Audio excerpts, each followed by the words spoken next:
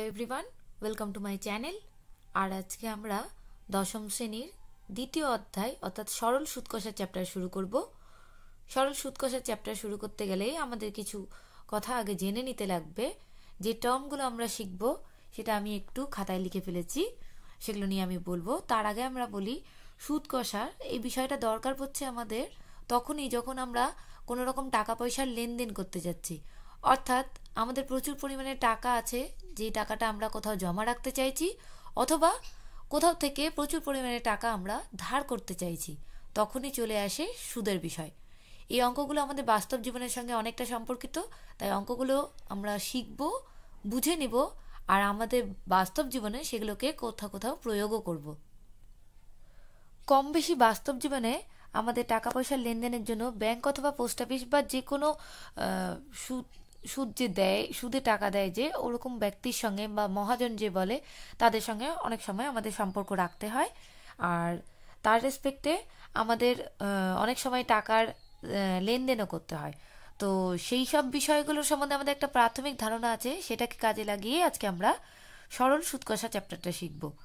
তো আমরা বলি যে আমরা যখনই কোথাও থেকে টাকা ধার নিই বা ধার দিই বা কোথাও টাকা জমা রাখি, এরকম যে কোনো ক্ষেত্রেই আমরা কিছু টাকা বাড়তি হয় তাকে দিতে হয় না হলে জমা রাখলে কিছু টাকা বাড়তি আমরা পাই।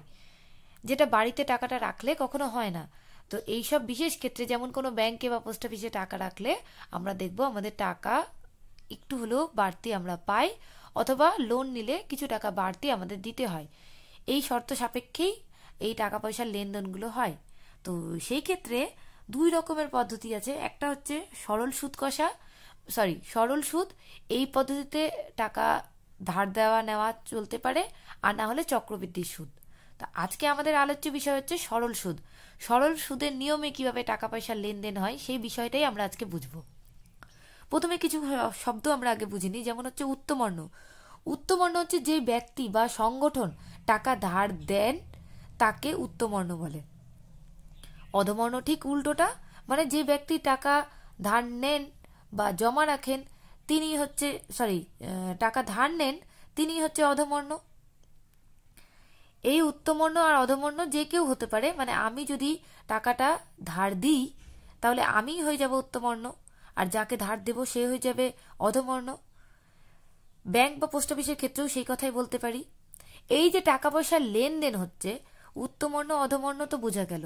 এই যে টাকা পয়সার লেনদেন হচ্ছে, সেই ক্ষেত্রে যেই টাকাটা নিয়ে লেনদেন হয়, সেই টাকাটাকেই বলে হচ্ছে আসল। মানে ধরো দশ হাজার টাকা আমি ব্যাংকে জমা রেখেছি বা দশ হাজার টাকা ব্যাংক থেকে ধার নিয়েছি, সেই দশ হাজার টাকাই হচ্ছে আসল। সেই আসলের রেসপেক্টে ব্যাংক আমাকে বলবে যে, যদি জমা রাখি, তো বলবে যে আমি তোমাকে কিছু টাকা বাড়তি দেব। আর যদি ধার নিই, তো বলবে যে কিছু টাকা আমাকে বাড়তি দিতে হবে। সেই বাড়তি টাকাটাই হচ্ছে সুদ। যেই সময়ের জন্য ব্যাংকে রাখব বা পোস্ট অফিসে রাখব বা যে কেউ আমার কাছ থেকে নেবে বা আমি ব্যাংক থেকে লোন নিয়েছি যেই সময়ের জন্য, সেই সময়টাকেই সময় বলেই বোঝানো হয়েছে। আর সুদের অঙ্কর ক্ষেত্রে সময়টা সবসময় বছরে সেই ধরেই করতে হবে। এখন দেওয়া নেওয়ার সময় হয়তো আমি ছয় মাসে টাকা দিচ্ছি বা ছয় মাস পরে টাকাটা নিচ্ছি, কিন্তু অঙ্কটা হিসাব করার সময় সেই ছয় মাসকে আমরা বছরে কনভার্ট করে তবেই অঙ্কটা সমাধান করব। ঠিক আছে? এরপরে আসছে বার্ষিক সুদের হার। বার্ষিক মানে বছরে সুদের হার। মানে যেই রেটে আমাদের টাকাটা দেওয়া নেওয়া হবে। মানে আমাকে যদি বলে ফাইভ পার্সেন্ট আমি ধরে নিচ্ছি, ধরি ফাইভ পার্সেন্ট হাতে, হারে আমাকে ব্যাংক টাকাটা ধার দেওয়া বা নেওয়ার কাজটা করছে, তাহলে এই যে ফাইভ পার্সেন্ট হার, এটাকে বার্ষিক সুদের হার বলে। এই কথাটার মানে বোঝায় ব্যাংক এক বছর পর পার্সেন্টেজ চিহ্নটার মানে একশো তো একশো টাকার রেসপেক্টে পাঁচ টাকা আমার কাছ থেকে সুদ নেবে বা জমা থাকলে দেবে, ঠিক আছে? তার মানে বছরে একশো টাকার রেসপেক্টে পাঁচ টাকা হচ্ছে বার্ষিক সুদের হার। এই কথাটার মানে বোঝায়। অঙ্কগুলো করতে করতে বিষয়গুলো আরও ক্লিয়ার হয়ে যাবে। তারপরে আসছে সুদ আসল সুদ আর আসল কথাটাকে যুক্ত করেই হচ্ছে সুদ আসল তার মানে যখনই কোনো টাকা আমি নিয়েছি আর ব্যাংকে বলছি ফেরত দিতে যাব। তখন সে আমার কাছ থেকে আসলটা তো নেবেই, তার সঙ্গে তার সুদটাও নেবে। সেই দুটোকে যোগ করে দিলেই আসে হচ্ছে সুদাসল। তো সুদাসলকে অনেক সময় সমৃদ্ধি মূলও বলে, তো যেটা লেখা থাকবে সেই হিসাবে আমরা উত্তর বের করব। কথাগুলোর মানে ওই একটাই বোঝায় আসল আর সুদকে যোগ করা। আবার অনেক সময় কথাটা সুদে আসলে কথাটাও লেখা থাকে। একই রকমভাবে না, আসলকেও মূলধন বলে। তো আসলকেও মূলধন বলে, আর ইংরেজিতে এই টার্মগুলোর নাম আমি একটু লিখে দিই, যেমন আসলকে পি দিয়ে ডিনোট করা হয়, সুদকে আই দিয়ে ডিনোট করা হয়, সময়কে টি দিয়ে ডিনোট করা হয়, আর সুদের হারকে আর দিয়ে ডিনোট করা হয়।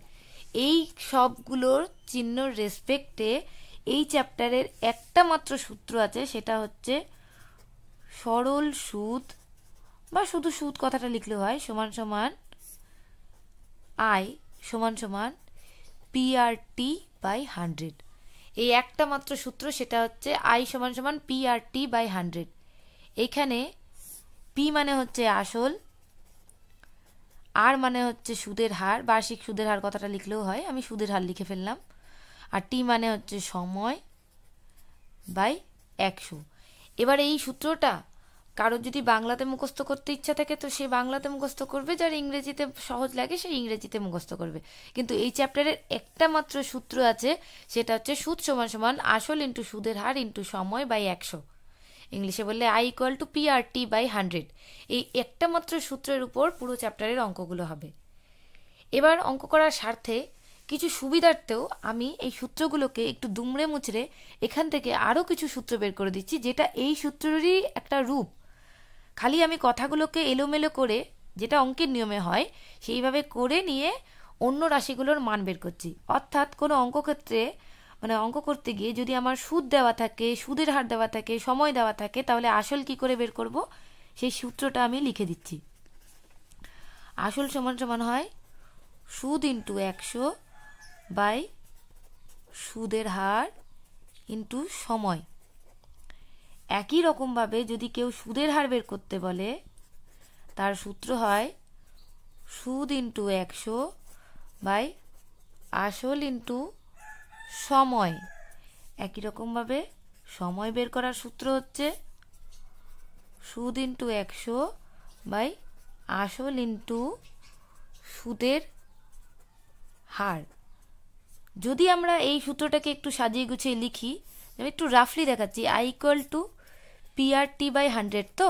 আমি আই ইন্টু হান্ড্রেড করে দিলাম এ পাশে আসলে গুণ হয়, আর সমান সমান এদিকে পিআরটি লিখে দিলাম।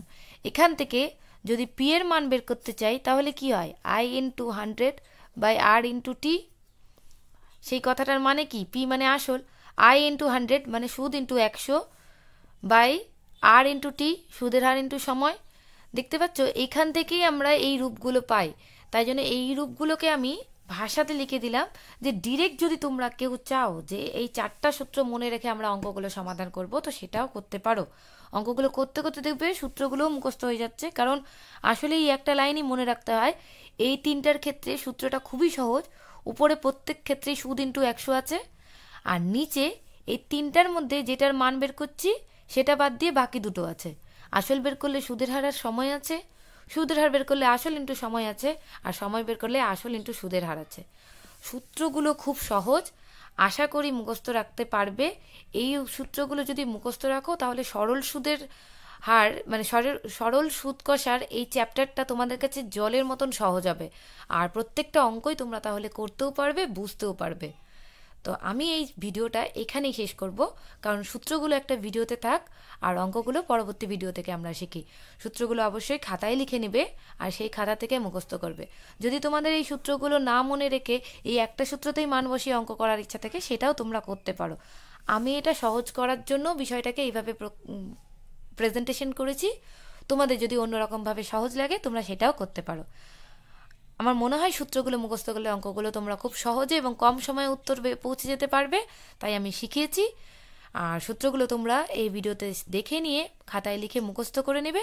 পরবর্তী ভিডিও থেকে আমরা অঙ্ক শুরু করব।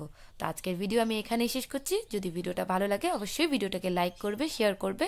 আর যদি আমার চ্যানেলটাকে এখনও সাবস্ক্রাইব না করে থাকো, অবশ্যই আমার চ্যানেলটিকে সাবস্ক্রাইব করবে। তো আজকের ভিডিও এখানেই শেষ করছি। Thank you.